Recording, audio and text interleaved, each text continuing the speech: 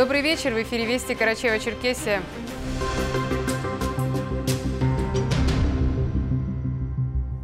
После жарких дней Карачева-Черкесию сегодня накрыл прохладный ливень с градом и шквалистым ветром.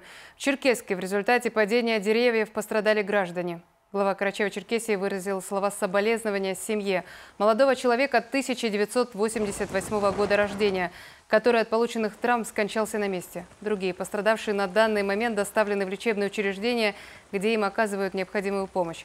Рашид Темрезов поручил министру здравоохранения лично держать ситуацию на контроле. Глава республики заслушал доклады ответственных руководителей различных служб, глав муниципалитетов. В целом, по республике в результате комплекса неблагоприятных метеорологических явлений были порваны линии электропередач, повреждены кровли и фасады зданий, в том числе социальных объектов. Подтоплены дома, участки дорог и ряд частных домовладений. В других населенных пунктах, кроме Черкеска, пострадавших граждан нет. Рашид Темрезов дал ряд оперативных поручений главам городов и районов, аварийно-спасательным и дорожным службам незамедлительно приступить к аварийным работам по устранению последствий стихии – Метеорологическая обстановка в республике остается напряженной. В связи с этим глава республики поручил правительству и оперативному штабу ЧС продолжить круглосуточно мониторить ситуацию и принимать необходимые меры. 15.30, 28 июля 2023 года в городе Черкесск при прохождении комплекса неблагоприятных метеорологических явлений произошли многочисленные падения деревьев. Есть пострадавшие которые доставлены в Карачаево-Черкесскую республиканскую клиническую больницу. Для ликвидации последствий в комплексе неблагоприятных метеоявлений привлекаются спасатели Карачаево-Черкесского поисково-спасательного отряда МЧС России, сотрудники первой пожарно-спасательной части города Черкеска, Карачаево-Черкесской аварийно-спасательной службы.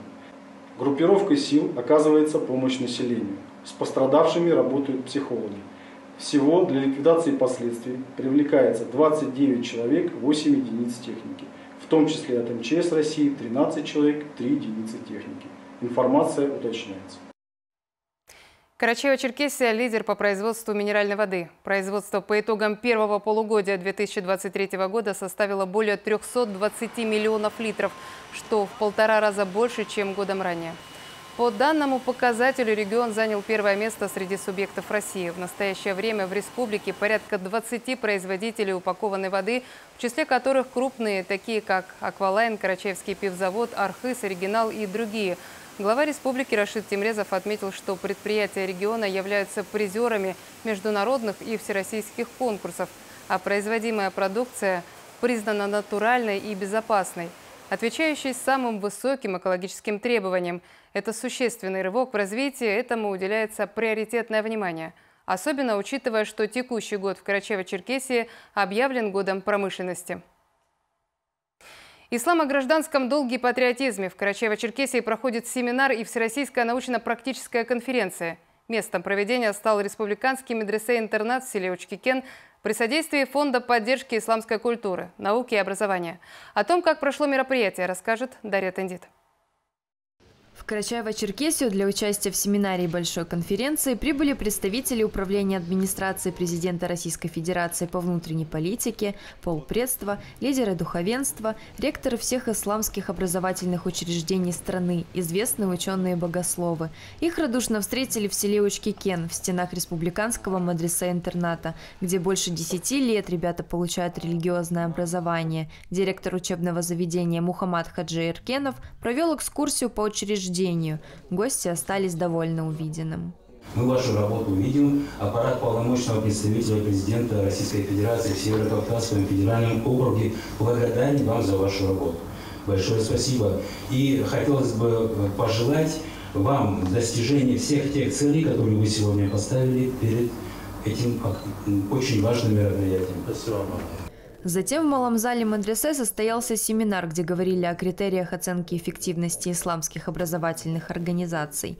Данная тематика представляется актуальной в свете современной геополитической ситуации. Это конференция, посвященная проблемам патриотизма, формирования гражданской идентичности, долг. Это очень актуально. Вот э, это не просто какие-то семиминутные конъюнктурные задачи, это фундаментальные задачи.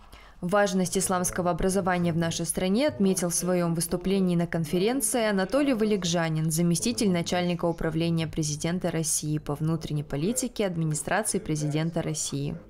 Сегодняшняя тема, как вы видите, ну, запредельно актуальна, запредельно значима, невероятно важна. И это серьезный знак, что именно эта тема, тема гражданского долга, тема патриотизма обсуждается сегодня в образовательном учреждении. Боюсь что-то напутать, но в том Писании сказано, что после ухода человека остается только три вещи.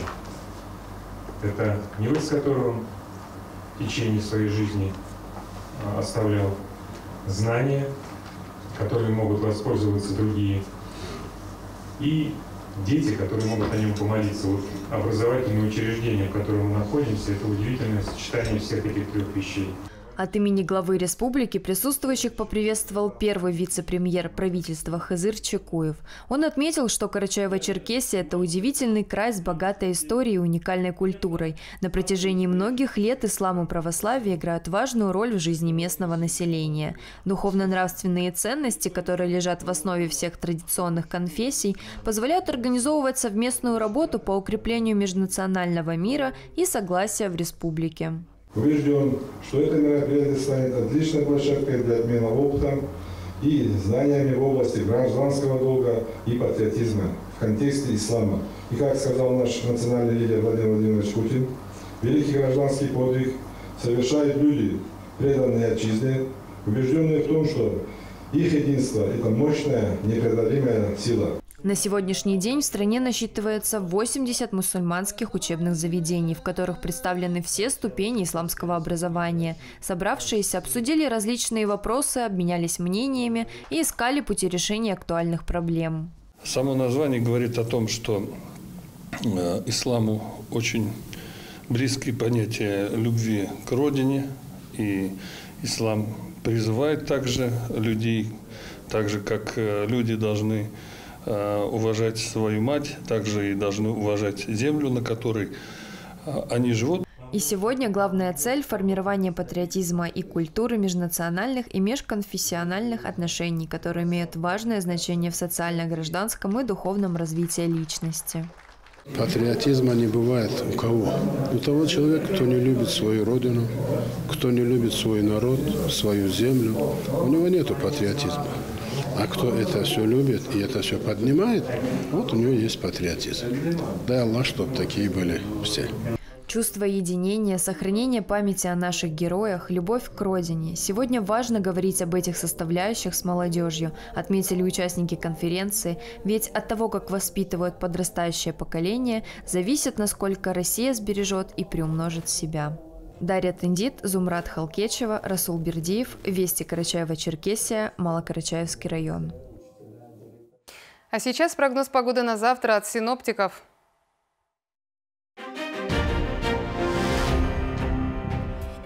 В Карачаево-Черкесии ночью и утром местами кратковременный дождь и гроза, в отдельных районах сильный, с градом и шквалом до 25 метров в секунду.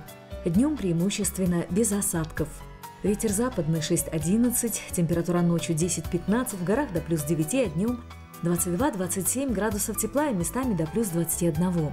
В южной части местами высокая пожароопасность. В Черкеске ночью кратковременный дождь и гроза, днем без существенных осадков. Ветер западный 6-11 метров в секунду. Температура ночью 13-15, а днем 24-26 градусов тепла.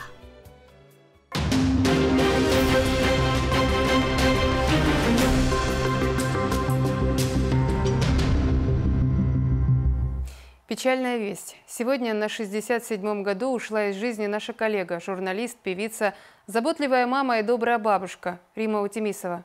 Вместе с супругом Магометом они внесли значительный вклад в развитие и сохранение культуры родной республики. Светлая память о Риме Утимисовой будет в наших сердцах.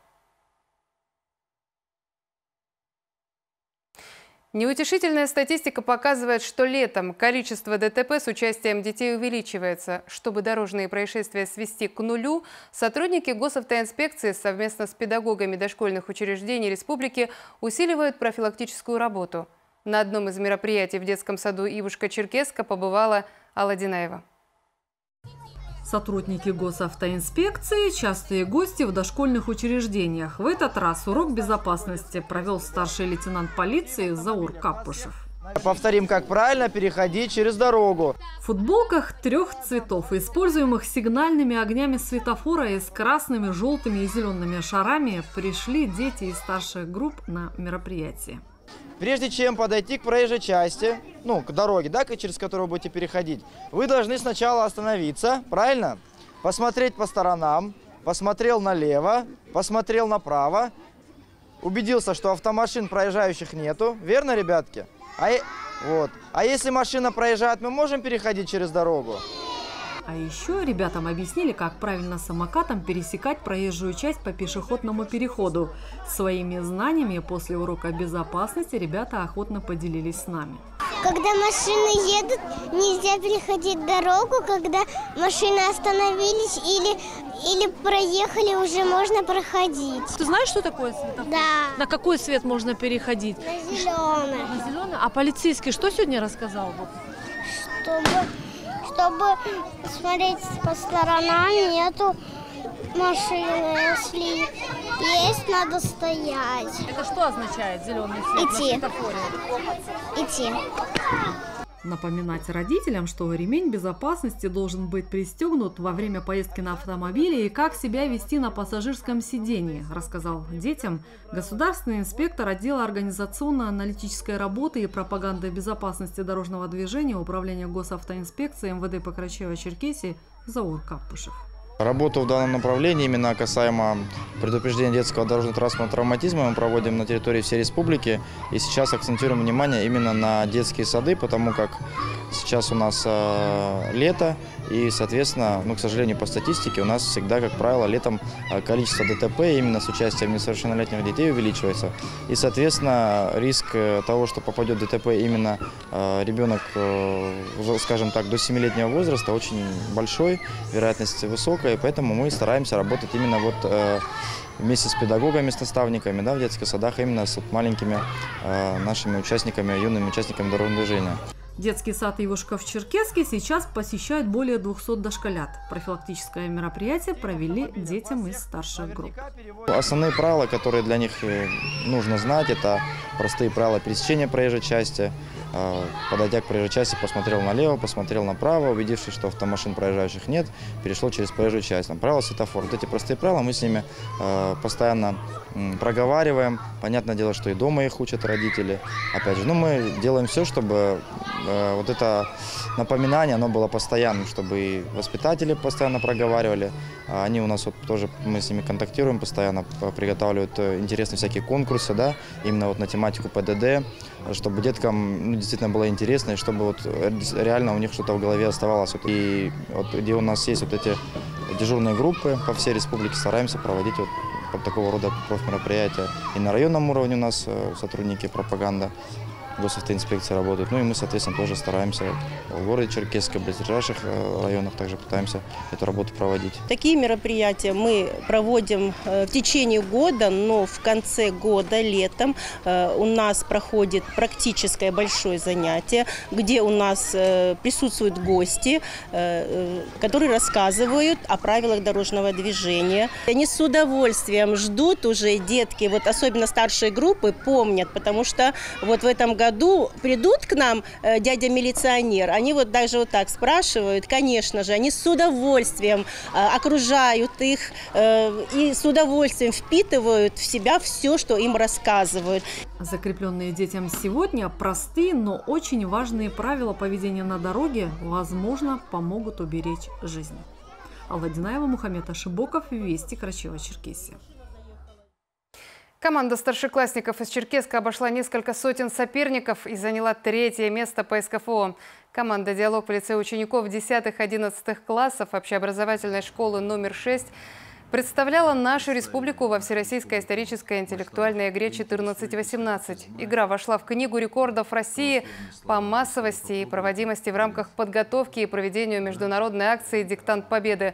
Руководитель регионального отделения партии «Единая Россия» Руслан Джамбаев поздравил призеров и вручил им памятные сувениры.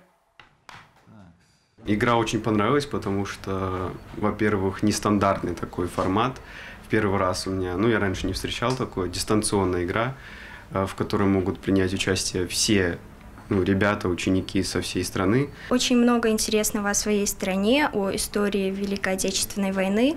Там были очень необычные вопросы и очень интересные ответы на них. Я запомнила почти каждый. Очень понравилось, и я получила очень интересный опыт. Я благодарен вам, что вы действительно достойно представили э, нашу республику. Для нас большая честь сегодня вручить вам те награды, которые вы действительно заслужили. Это все вести на сегодня. Прямо сейчас смотрите шоу «Удивительные люди». Хороших выходных. До встречи.